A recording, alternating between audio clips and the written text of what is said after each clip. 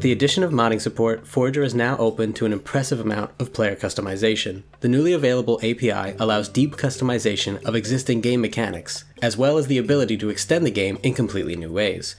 Before we dive in and make our first mod, there are a few things you'll need. You will, of course, need the latest version of Forager installed through Steam, and while it's not required, it does help to have a rudimentary understanding of GML. GML, or Game Maker Language, is the programming language that Forager is written in, and it is also the language that is used to create mods for your game. If you've never heard of GML before, or maybe if you're just a beginner, you can learn more by downloading a 30 day free trial of GameMaker Studio 2, which I've included a link to in the description. Knowledge of GML isn't required to follow along with this video though. There are two more things that we'll need before we get started. First, we'll need to download the Forager modding tool. This is a small program that will help us create our modding files. In addition, we can use this tool to upload our mod to the Steam Workshop when we're done. We can download the tool directly from the Forager modding documentation website. It's a good idea to keep this page open as it includes a lot of helpful information that we'll need later. I've included a link to it in the description. Next, we'll need to get GMEdit. We can get this from the GMEdit itch.io page, which is also linked in the description. This tool will help us write the GML in our mod. There's a bit of setup involved after we download this tool. Back in the Forager modding documentation, there's one more link we need to download. This link will give us a zip file that contains special instructions for GMEdit that will allow it to have better support for Forager modding specifically. After downloading both the zip file and GMEdit, let's open up GMEdit.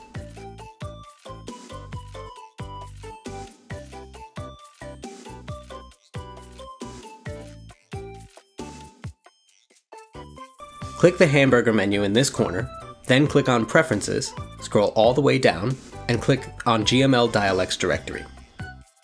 This should open a folder on your computer. Leave this folder open and return to the zip file that we just downloaded earlier. Extract the contents of this zip file directly into the GML Dialects directory that we just opened.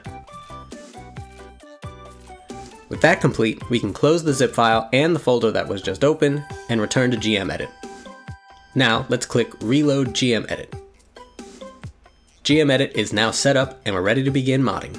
To create our first mod, let's open the Forager modding tool.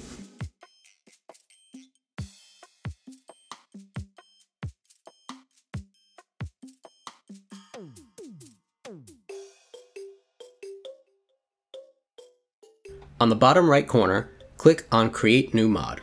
Then enter a name for your mod. Once you've entered a name, click on Create. This will open a folder containing your new mod files. To edit our mod, we need to drag the fmconfig.json file into gmedit. You will notice that your files now appear on the left side of the window, which means our mod loaded successfully. Double click on main.gml to open it up. There's not much in here. Let's add something simple. Underneath the first line, enter trace, and then inside parentheses and quotation marks, hello world. This will call the trace function and provide it with the string hello world. It's not much, but for our first mod, it's a good start. Let's open up Forager to test it out. Once your game has launched, click the modding button on the bottom right hand side of the screen. You should see your mod appear in the list on the right. Click the off button next to your mod's name to toggle it on. If you're actively making changes to your mod while the game is open, you can click on the compile button to make sure any changes you've made are loaded into the game. Once we click this button, if we open up the console by pressing T on our keyboard, we will see that our message has appeared. Hello world. We now have a mod that is successfully loaded into our game. It doesn't do much, but it works. Let's take it a step further and make our mod do something useful. So back to GMEdit. Let's make it so that every time a player digs with their shovel, they are guaranteed to find iron ore. In order to do this, we need to create a section of our code that runs whenever the player digs with their shovel. Luckily, there's an event for that. An event is a function that will be run automatically in response to something that happens within Forager. This makes it really easy for us to run code when certain things happen in the game, like when the player loads their save or when they level up. In the modding documentation, you can find a list of all the events that the modding API supports. The event that we'll need is onDig. This event triggers whenever the player uses their shovel. So back in GMEdit, underneath what we currently have, we can write hash, define, space, then on dig, and x comma y inside parentheses. By the way, this syntax is how you define your own functions in GMEdit. All mods must have a function called main, and you'll notice that we already have one at the top. Any code that is inside the main function will run as soon as the mod is loaded. Any code that we write in onDig will run every time the player digs with their shovel. So to make iron ore pop out of the ground, we'll need a function related to items. In the documentation, let's scroll down to item database, then click general functions, and at the top, we can see a function called drop item. Drops the given item into the world. Sounds like just what we need. It looks like we will also need an X and Y coordinate, which we already have from our event, as well as an item to drop, and how many we want to drop at once. We have everything we need except the item we want to drop. Luckily, that information isn't hard to get. All of the items in Forager can be found in an enum. An enum is basically a container that stores a ton of numbers. We can view all of the available Forager enums by clicking on enums, then enum list. Scrolling down a bit, we will find the item enum. Right at the top, we can see iron ore, so now we know how to access iron ore in our code. Let's go back to GM edit and bring this all together. So, under our onDig line, write drop item, then inside parentheses, we are going to first pass x and y, which we have from the event. Next, we need to reference the iron ore item. So first, we write the enum name, item, then period, iron ore just as it appears in the documentation. Lastly, we need to include an amount, so we can just put 1. Let's save our mod, return to Forager, and click compile. All that's left is to test things out.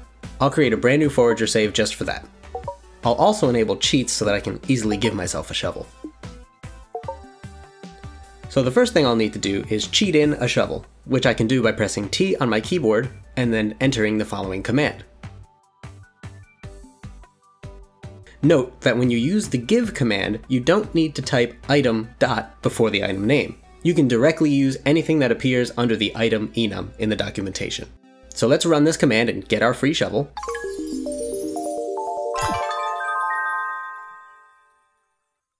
And now let's try digging around.